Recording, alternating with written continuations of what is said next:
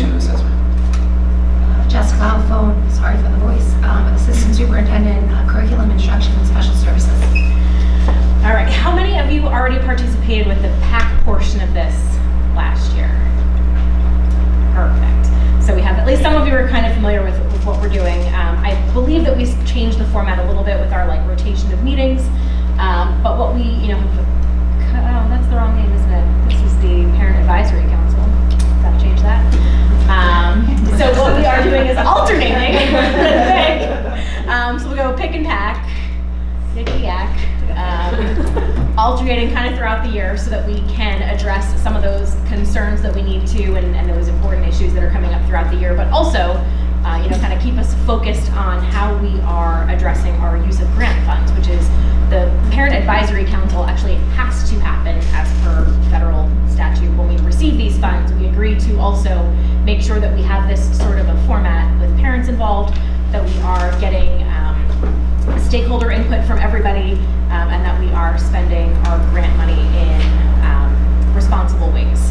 So the purpose of our Parent Advisory Council is to provide input and feedback from to us, um, how to spend those federal grant monies. Um, we will conduct another needs assessment towards the middle to end of the year. Um, we will talk about if we need any things like amendments uh, needed to grants. Even this year, we you know we could go back and forth on those things, but really it's to talk about what our future programs will be like. Um, and then also one of the one of the um, one of the buckets of money that we get for our title funds is parent engagement ideas. So we're always looking for new and different ways to do parent engagement when it comes to um, our specifically our Title I schools. Um, but we could also do other events. All right. So our the overview of our needs assessment cycle. What's interesting is that we are currently like in the middle of it, so we have to start here and then work our way backwards. Uh, because right now we already have our grant funds for this year, right? So we've already done the planning for it. We've identified the needs. We have come up with ways to spend it, and now that we're here in school, now we are spending it. So now we are spending our grant money, supporting our students in our programs. Um, so the next couple of months, we'll talk about how we're doing that. Um, hoping to have some people come in and talk to us about how specifically their programs are run. Um, and then that way we can all kind of examine how we're doing that, reflect on those, and then it'll be very quickly time to start talking about how we're going to identify our needs for next year. So we'll, we'll send out those surveys again to everybody and then also talk in this group about what are those needs, um, how are we going to make sure that we are addressing those needs and then make our plans um, and go forward. Um, so that's our, our general cycle. So took some information from last year. So this was our needs assessment results from last April. Um, so you'll see me kind of go back and forth about what the needs assessment said, and then lo and behold, this is how we're spending our money. Um, so when we sent this out, like I said, April, here was approximately our, our breakdown of who responded.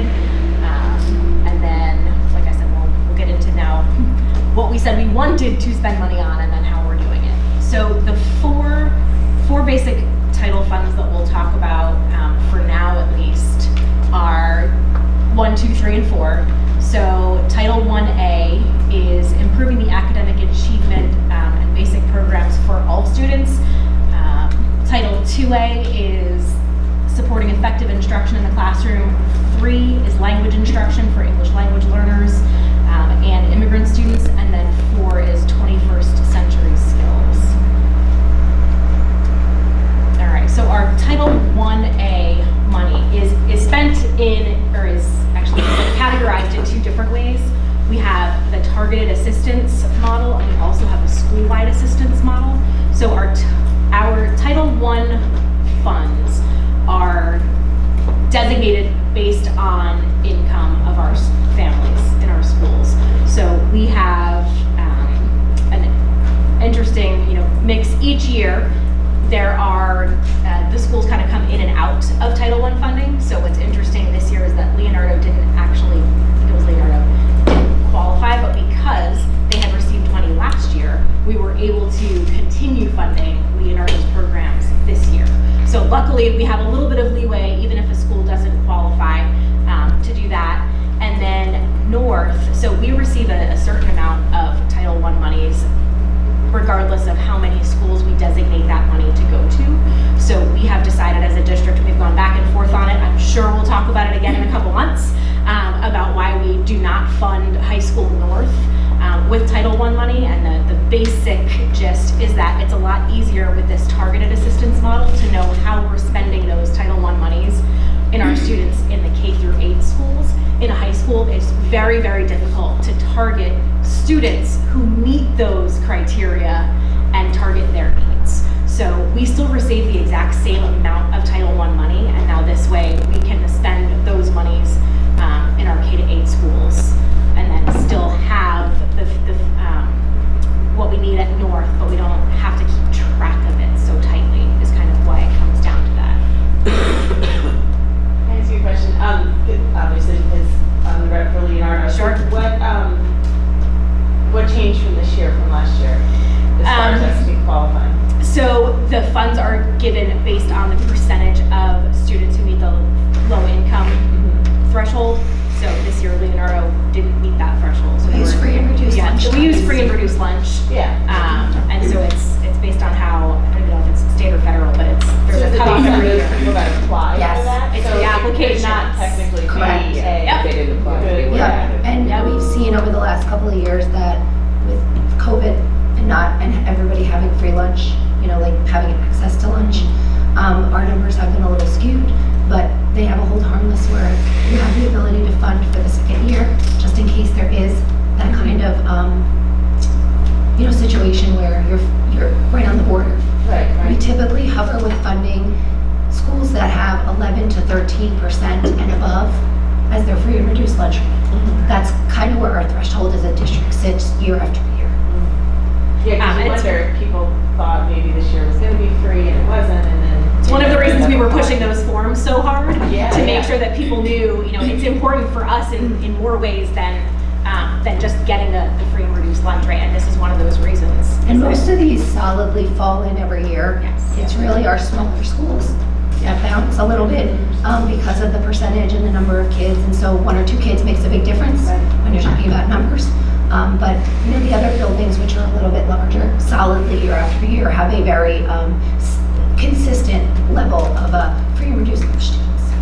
Because we don't wanna lose that. We like what we get. I mean, it's, I'm gonna put it's a nice perk when you need it, but yes, it's, um, it's absolutely important to us that those forms come back for that reason. Yeah. Um, Right, and just so you're aware, the monetary amount that we're designated as a district is based on the census.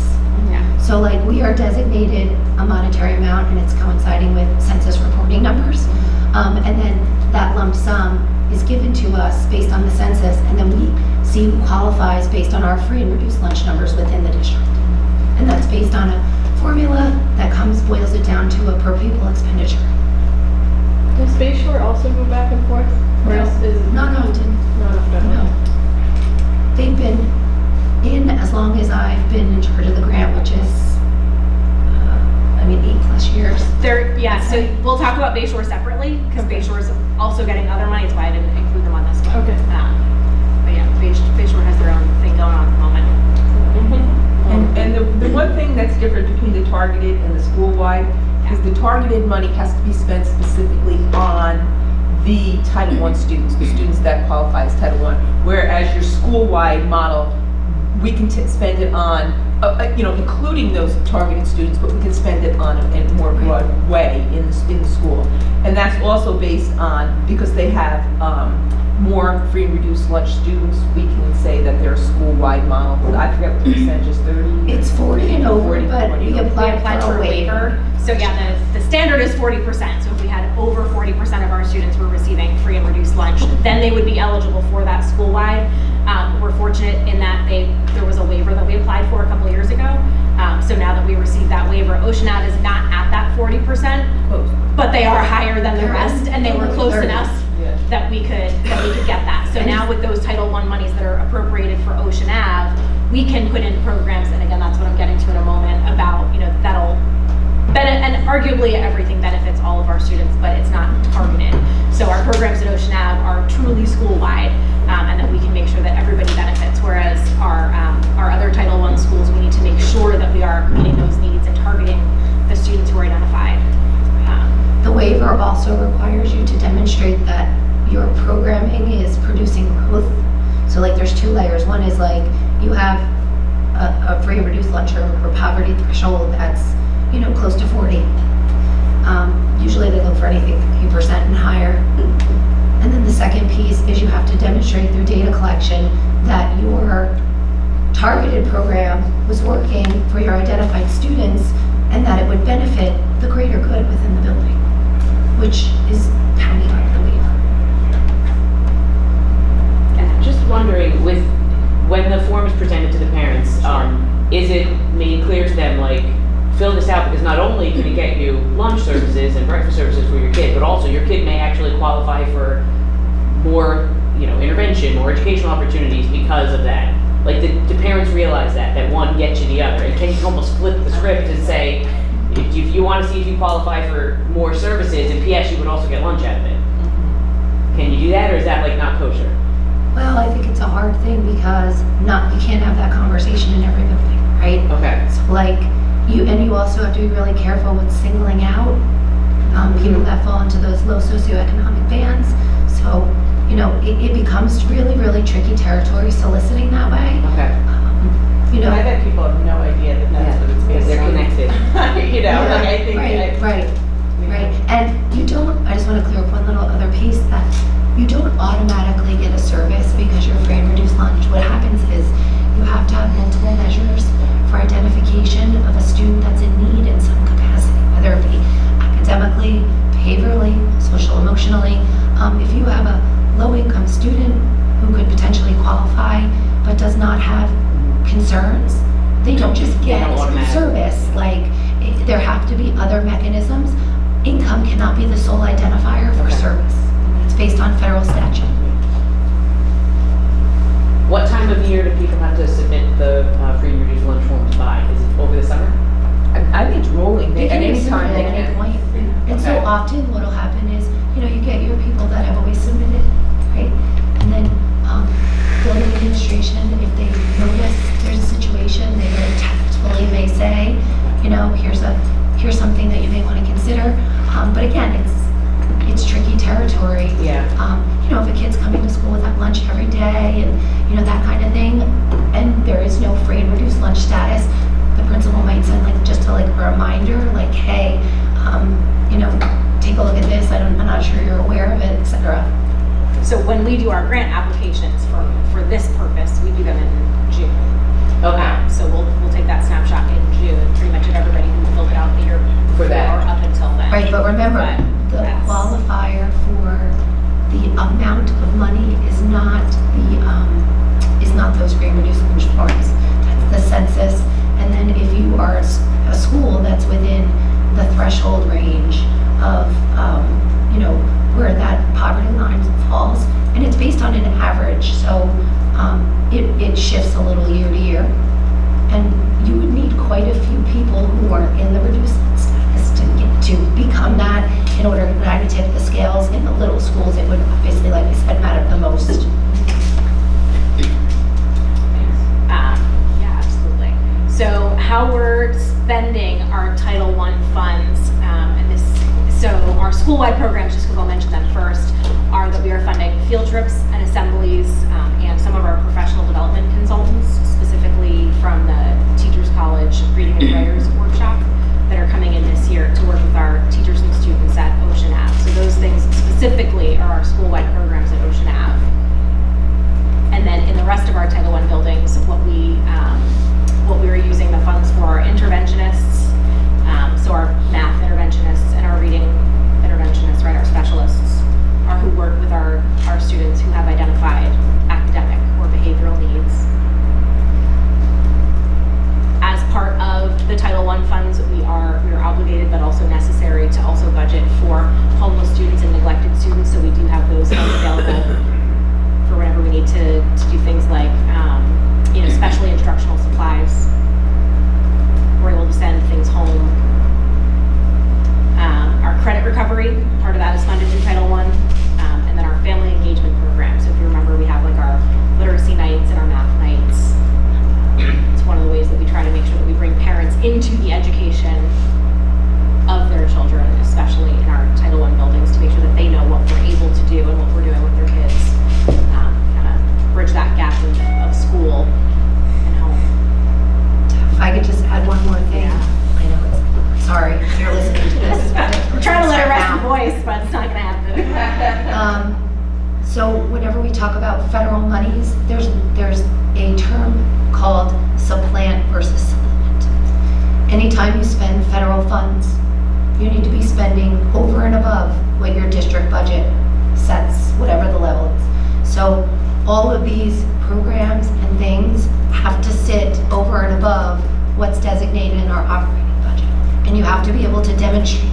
talk about interventionists, um, we talk about funding a portion of their salary that would be over and above what the district would have funded based on their size. So like, for instance, if we designate for every 250 kids, we would have an interventionist in a building. We need to demonstrate over and above, um, you know, what we're funding with title monies. And our interventionists who work in our title schools act- actually have to justify their time that they're working with Title I students, and we have to account for that. So it's not so much that we're looking for, right, like students who are eligible for but they still have to go through that, right? And so they're gonna look at who is identified as academically in need of these intervention services, and then they cross-reference and make sure that we have, you know, that we know who's receiving what services. And do the parents know if their child is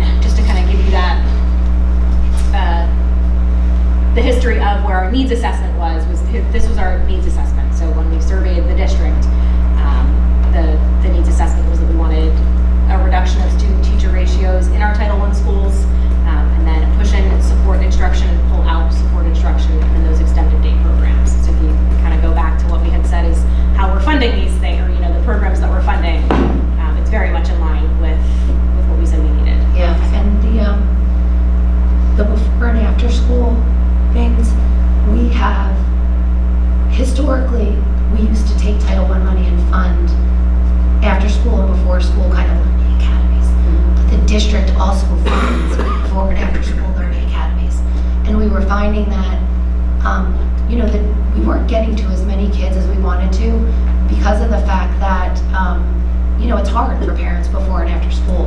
So we shifted the way we were allocating that money to cover the cost of portions of interventionist salaries so we could grow our interventionist kind of team because during the day we have a captive audience.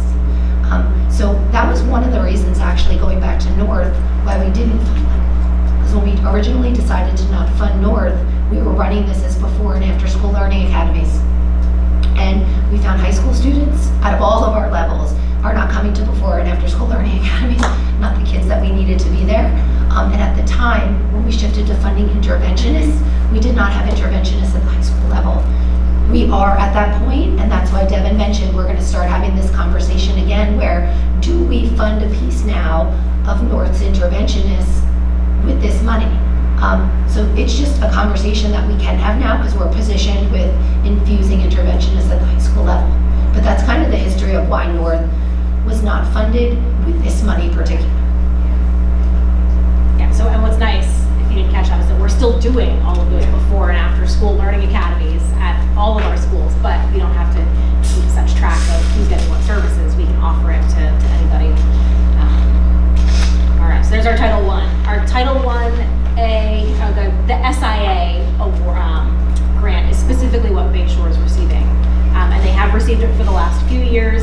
Um, they were identified as having a specific subgroup of students who really needed to be addressed in terms of academic achievement. Um, so we have been uh, working on that. I want to say it's three, if not four years that we've been. Um, It's been four. It's been four, right? This is Four or four. five. Yeah, it was only supposed to be three with COVID. Right. Yeah, we- we keep trying to exit. 20,000. You know, and it's That interesting subgroup has because now gone out of the Yes. we don't even have. We don't that even have them anymore. I'm not, I mean, literally, we don't have actually like that, borderline you know, that meets that point. definition. Not even Yeah. a subgroup like that that Yeah. has a need, there is just no subgroup. And it wasn't a subgroup that was, we would look at and say like, oh my gosh, they're egregiously underperforming. So part of the identification for, this is um, a a lower level of assistance, it's not comprehensive support, it's called targeted support, not to be confused with, not to be confused with targeted assistance. But targeted simply means that in the Title I schools, you had a subgroup that performed in the bottom 5% when compared to all other Title I schools in that subgroup. So we had one population, and to be a subgroup, you have to have over 20. So we had just over 20, and they performed in the bottom 5%. But when you looked at their collective performance against kids in the building, they, they were fine, they were average. Um, so it was kind of like a uh, high performing an anomaly, yeah. just bizarre. So in any event, it's the gift that keeps on giving. We started at about $60,000 as the first award, and then it dwindled over time because I think truly the state probably under budgeted for a massive undertaking like this because if they're giving us 60 grand for 20 kids, imagine what they're giving places that had lots and lots of needs. Um, we should exit will most likely happen for us this year because we don't have enough to even have a subgroup in that population anymore. And um, this is now five years. Um, so, you know, I, I think this will be the last year of this money, which is when we will then reabsorb Bayshore back into the Title I loop. Because they're getting other funds, you know, it's just easier to keep track of. And SIA money, you can use for any student in your building. Does not not have to be the targeted subgroup. Oh, interesting. Yeah. So again, funding part of the Just- interventionist salaries just seemed to make sense. So we're, we're able to use that a little easier even Yeah, um, for that. Is that unusual that Bay Shore, being that, so there's four elementary schools, three of them are Title I schools, that Bayshore would be considered Title I, the only one is Navesink, right? No, it is Title I. It is Title I. We just didn't fund them this year because they were getting They SIA money. money. Oh, okay. But so wouldn't that be, oh, so Bay, oh, so Bay that's. Shore, when they lose is this still Monday, the Title money they'll get. Because again, like we get that amount of money regardless of who we designate as a Title I A receiving school. So because we knew that we had these funds specifically for Bayshore and we could fund the interventionist salaries, it made more sense to defray the cost of interventionists in other buildings based on the Title I funds that we were getting. So now that we've, funding is all a shell it's, it's all a Like shelf. a shuffling. Yes. It is, yes. but on paper, And we have to figure out how to. Yep, on paper, you have to justify that you're over and above what your district would spend. Mm-hmm. So people that use our federal money smartly craft their district operating budget with federal funds in mind. So that way you have abilities to justify spending. Mm-hmm. The language changed a few years ago. Supplement and supplant used to be something completely different in the sense of you could not put in a program that you were using district monies for with Title I. So I'll give you a tangible example. We put in Fundations eight years ago, nine years ago. Fundations, we started out defraying the cost through Title I monies. Because we were using Title I money to defray the cost in those buildings, we could not put it in the other buildings. because it was a programmatic supplementation and supplant language. They erased that probably three or four years ago, and it became monetarily driven. So the supplement and supplant language went away from programming, because it was definitely handcuffing everybody, to now it was just, you have to demonstrate that you're spending more. And you wouldn't be able to afford it if you didn't have the monies. So yeah, we'll, we'll throw Bayshore back in the bucket once they're exited, and then we'll figure out how all of it, um, you know, plays out. But plan to keep supporting these interventionists however we can. So, yeah. So I should know this. Is this federal money from yes. the national government, but then the state is the one who determines how much we get? State has, this, No no, involvement. this is federal. This is entirely federal federal. So when we yeah. talk in Board of Ed meetings about state aid coming down, blah, blah, This is federal it's a whole money. different bucket of money. So what ends up happening is the state has to apply for E ESCA funds, which is the federal funds. And there are certain compliance features that the state holds. Um, When we talk about all those ESEA all of those other pieces. Um, So every year, the state, every, the state, every year to the federal government has to submit a grant, or a grant, they call it a grant. It's really an application Okay. for federal funds outlining how they will meet those accountability statistics. So when people talk about like, if the state doesn't do X, Y, and Z, they won't qualify for federal funds, that's what that means. So another tangible example, when state testing, you know, was a big hot button issue during COVID, we have to have state testing, Start Strong came about. It's because in the federal grant money application, we said we were gonna have a, a, an assessment. So We, New Jersey. Correct, we, New. Jersey. Okay. We framed out our application and said, we're gonna have, um, an assessment in grades three to whatever. We're gonna do, this is our marker for, um, student success with attendance. And because we were bound by those features to the federal government because of the monetary tie to it, the state had to come up with something, and the, they applied for a waiver, which was the Start Strong. So we won't do a spring assessment, but we'll do something in the fall to meet the requirement of the grant application for federal funding, which is this money. Okay, so the state applies to get a bucket of money for the entire state, and then we try to get a sliver of that? No, No, we, we okay. apply, so when we're applying, we're, appro- we're not really applying to the state. We get money passed down based on census information to Okay. our building. What we do in our grant application is we're getting the award, we just have to justify in our application how we spend the award. Okay, Because there are federal compliance features that the state, that the DOE is responsible for ensuring that we stay in line with. Okay, But it is a federal overarch. okay, so that's totally separate. This is state aid, totally different. Totally. Totally. So this That's in the know state's operating budget, yes. And do you know kind of roughly, I guess, how much? We always anticipate about 80 to 85 percent, although I haven't seen a year where we're drastically over or above what we get the previous year.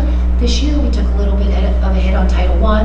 Um, I, I hate to say it, it depends on who's in office, like where the themes are, like federally.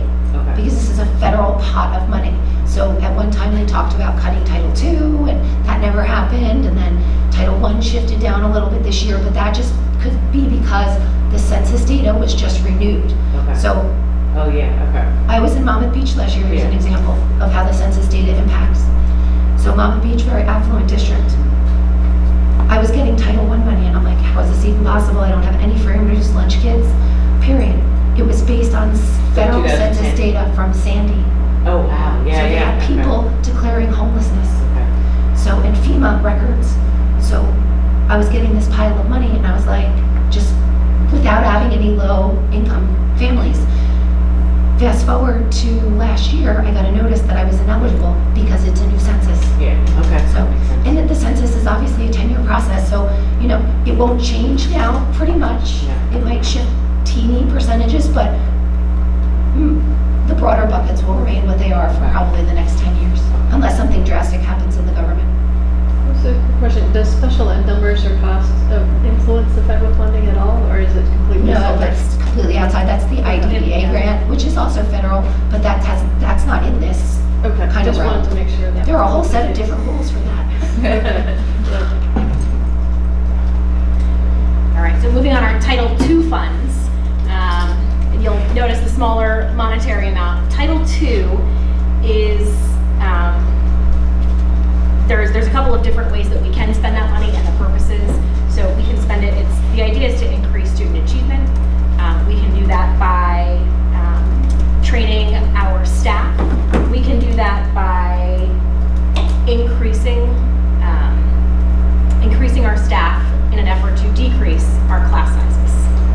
Right, so by, make the argument that we are um, having more kids in touch with um, higher quality teachers. So one of the biggest ways that we do spend this money um, was funding teaching salaries through class size reduction. Again, was the, the biggest identified need, um, and that is exactly how we're spending um, a large portion of this uh, grant fund.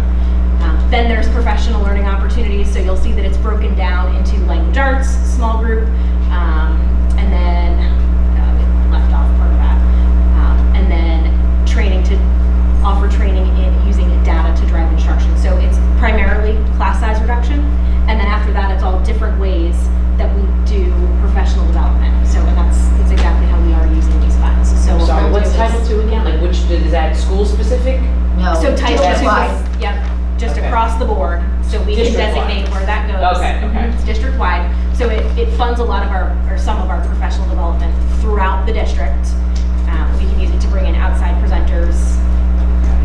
And just so you're aware, anytime we pay for a salary with a portion of Title I, we are, or any of the titles rather, we're obligated to pick up a portion of the FICA piece of the benefits.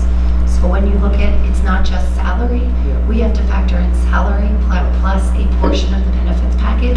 So that $136,000, when you talk about salary and benefits, doesn't go very far. Real fast. Um, It's like one- You spend it really, it's one teacher.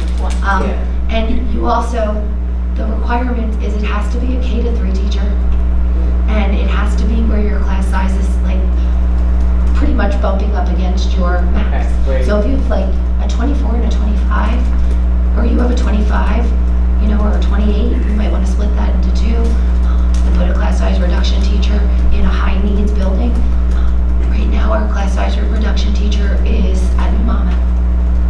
That's where we situate that salary. But it can't, and it can't be the same teacher two years in a row. But, um, but that's okay. Bigger schools That's okay. We have, teachers we have lots of options. Yeah. Um, we just look to aim where the class size is the highest. Yeah. You know, and like I said, keep in mind, when we put this in, we don't put the teacher's name in, it's a shell game. But we have to approve the funding on a board agenda. So if they really wanted us that deeply, they could come back and look to see, like, did you fund the same person twice in a row? But for the actual application, we don't put in specific names tied to those monies. But we have to sign a set of assurances when we submit the grant. And and do you have like tracking information on uh, how the class sizes are changing in each building based on this? Yes, Okay. yeah, yep. We have lots of spreadsheets about class size all the time. And you know what, it's, it's, sometimes we make a shift at the last minute because enrollments, Yeah, you know, changes. enrollment happens late into the summer and um, we, you know, we try to use it in a way very strategically to ensure that we're using it for the purpose that the grant is, you know, outlining that it has to be used. Then our Title III monies are appropriated for English language learners and immigrant students. So we use those, those funds for, you'll see, this is nowhere near a salary. So now we're talking about instructional supplies for our ELL students, um, professional development for staff who work with our ELL students. Um, So that includes both our, specifically our ELL or our ESL teachers and also our teachers throughout the district who work with students in their general ed classrooms who are not certified as ELL teachers but are working with our ELL population. And then also some of our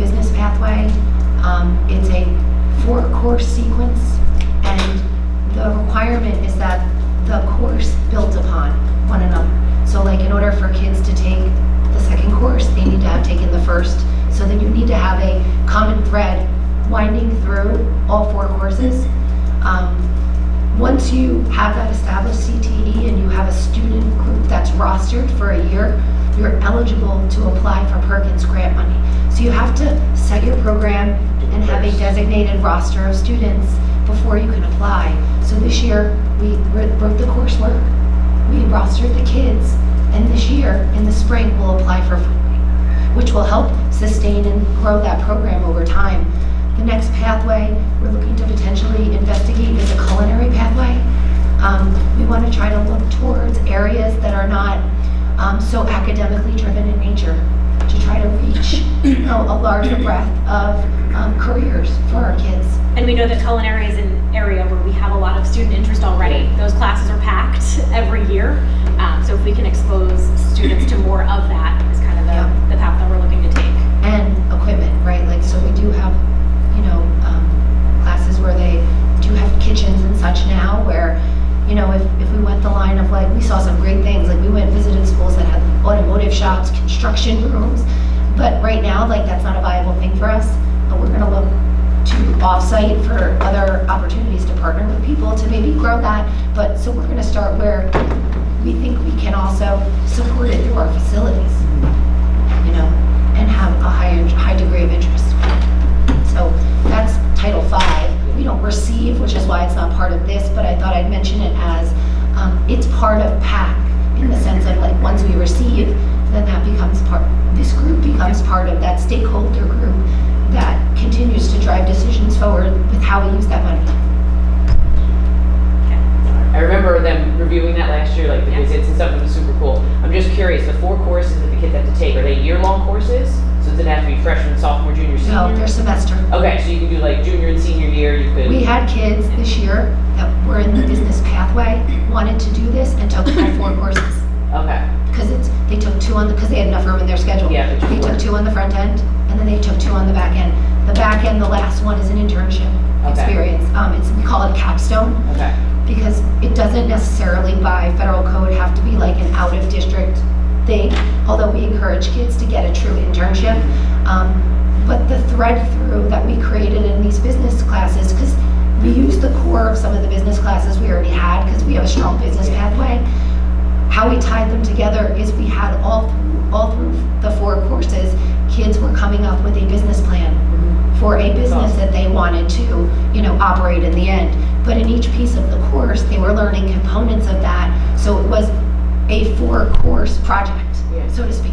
Okay. But they came out with like something tangible at the end. So the shortest amount would be then two years, because they We have. did it in one, but two is Okay. better. Two is I mean, the kids that are doing it in one year, I think there's actually probably not all four, three out of the four they would have had to have taken because they took the Okay. business. Yeah. But it's still a lift, I mean. Yeah. But the next year, and now that we have it up and running, it'll be um, even easier. The issue is too that we selected a pathway, or a CTE pathway that we already had a typical pathway for. Yeah. So kids were kind of all over the place in where, what they took, because the pathway sequence we have is not the same as what the CTE pathway was gonna be, so it was a little disjointed.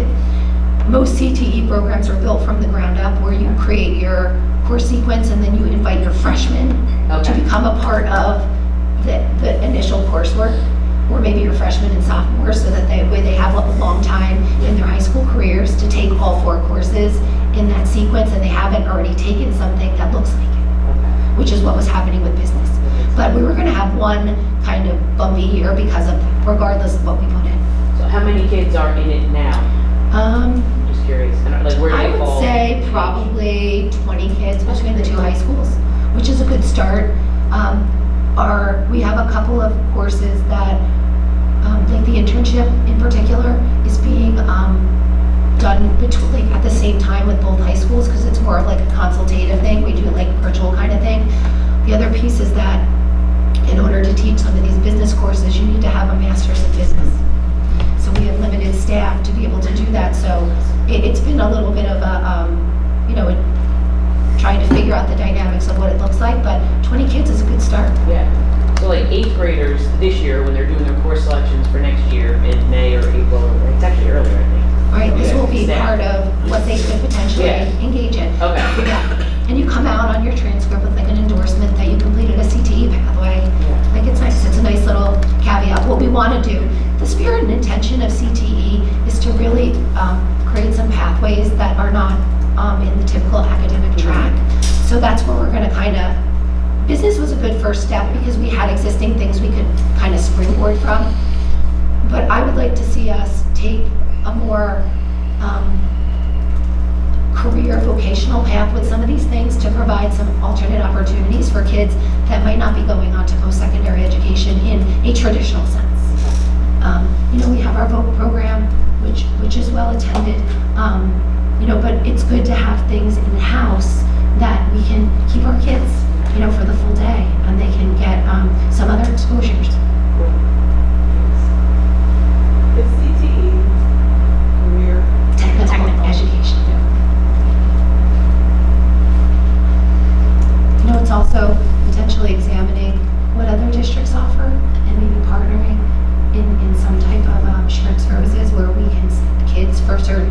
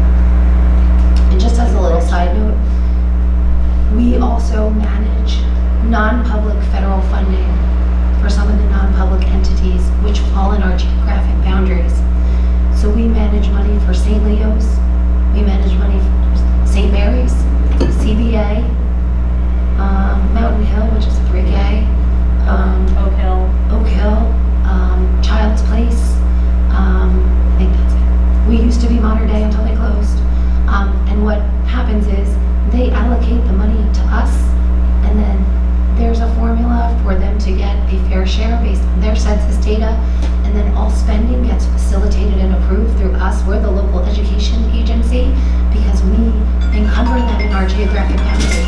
It's like the busing, Yeah, it's, it's, similar-ish. it's a little bit of a headache, but, you know, um, because what ends up happening is uh, non-public schools, whether they're cap, like, part of the diocese or otherwise, just true private schools, um, they often aren't well versed in federal laws, they kind of do what they want.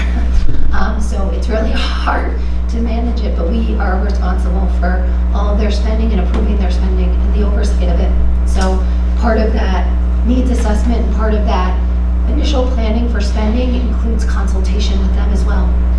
So those dollar figures that were at the top of each, you know, Title One, Title Two bucket, that's, I gave you just Just hours. Okay, so I ours- took yeah, we're not hours giving of the that. non-publics. No, no, no. what, Yeah. just out of curiosity, like, what's the full Title One bucket, including all of the other ones? Like, is it, is it double? They don't get Title Title one, they don't get. Oh, they don't get, okay, No. okay. No, so how you figure out non-public Title I, ready for this one, because this is a whole nother nightmare. So you have to determine who goes to one of these privates in your geographic boundaries, and then determine who's free and reduced lunch from them, which is you're relying on the non-public to get that information, which they're terrible at. And then you have to figure out how many kids would have attended your Title I sender, and then figure out the per pupil allocation and give them that piece of money. So what ends up happening is the Title I's just decline, the non-publics decline, because they don't want to go don't through the wanna do it. process. It's a lot of identifying. research for them. Yeah. It's a waste not of their worth it. time. Like, so, They just raise it, it. it's like a, like a major math problem. And also trying to figure out, based on very little data, who goes to a non-public that would have come here? And where do they live? And would they have gone to somebody that's That a Title I school here? Oh, it's like, so, um, typically, uh, normally what ends up happening is it's like St. Mary's might have a kid, Mater Dei used to have a kid, those used to be our only two. Um, and then St. Mary's just started declining because it was just too hard for them to acquire free and reduced lunch information. So they just say, you know, we don't have it. They just say no. Yeah, they'll, they'll apply for Title two and Title four. And you can decline, I mean, you can decline federal money. You have, there's a place in the application where you can say like, no, thank you, because they don't want to be tied to the compliance issue. You know. Last year in Monmouth Beach, I got fifty-three dollars for Title III. I declined. I'm like, what am I doing with fifty-three dollars? Yeah. I'm like, is that like an arm of a kid? I like 53. It was just a random number, and I was like, I, it's more work for because if you are under ten thousand dollars in Title III money, you have to join a consortium for spending. So you can't even like just. I couldn't have just bought something for fifty-three dollars. I had to like join up with like a group. Team up. I was like, forget Yeah, it, buy a book for decline. so, but federal money, there's so many rules and. But it's important because you can get audited. I mean, we were audited here probably 10 years ago. Um, and they come in and they really take a look at, you know, your accountability measures. But um, we've been good since then. So in aggregate, annually, how, I didn't add it up as I was going along, what, it's like under a million dollars what we get? Oh, yeah. Yeah. it's- so Yeah, it's probably about uh, six, six hundred fifty thousand dollars. Because Title One was like three eighty-nine, then you got Okay, the one so, and then you got the forty. Maybe seven at the most. And it hovers around there, you know, routinely. And our Title One, the majority of that three fifty-nine is salaries and benefits. Wow. Um, you know, And how much in state aid we get? It was like, we're we're I don't like know, eighteen to top of my head. twelve-ish million? Yeah. Something, It- I mean, it's, a bigger chunk of our, Oh, yeah, and that's just, that's different, because that comes out of the state's operating budget.